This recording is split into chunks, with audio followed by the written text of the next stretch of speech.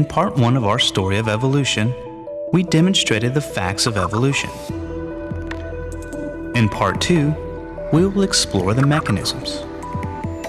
And to do that, we need to ask and answer just two questions. How does variety arise in the genomes of individuals in a group? And how does that variety give rise to new species?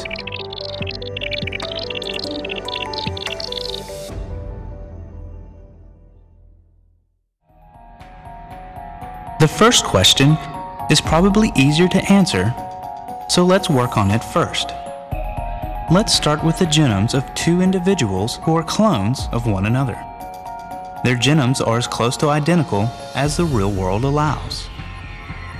As these individuals live their lives, their genomes encounter viruses, which implant their genetic material into that of the host, thus making the two genomes no longer identical. The two genomes will also encounter radiation and mutagenic chemicals in the environment, which further modify their genomes differently. Transposons already resident in each genome will modify their genomes differently as well. The process of DNA replication isn't perfect, and the mistakes that arise in this process will further diverge the genomes.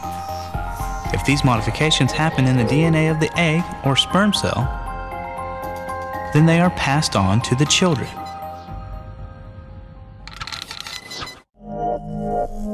In addition to those mechanisms for introducing variety into a genome, Sexual reproduction has its own mechanisms to ensure diversity. This man has two complete sets of chromosomes, one from his mother and one from his father.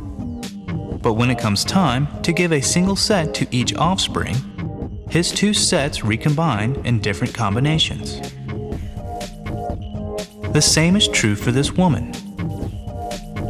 So when they have children, each child gets a unique combination from each parent. This greatly diversifies the genome of each population every generation.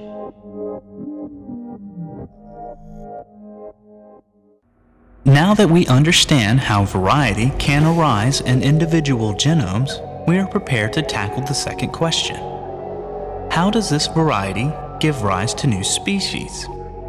There are two major answers to this second question natural selection and genetic drift.